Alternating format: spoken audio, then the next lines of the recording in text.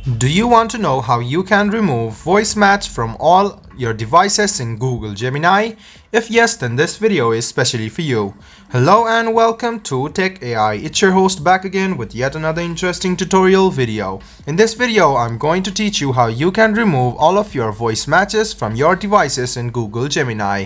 Go ahead and open Google Gemini on your phone and tap on the settings which you can see on the top right hand corner. Click on Settings and go to Google Assistant features in Gemini.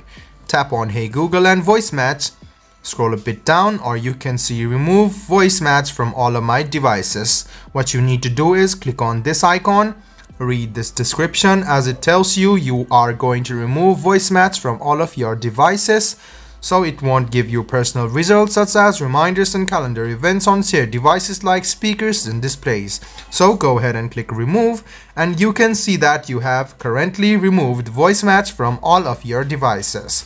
I hope this video was helpful for you. If you still have any kind of confusion, please do mention us on the comment section down below. Like the video, subscribe to the channel and do hit the bell button for more. Hope to see you in the next video as well. Until then, goodbye, take care and make sure you enjoy.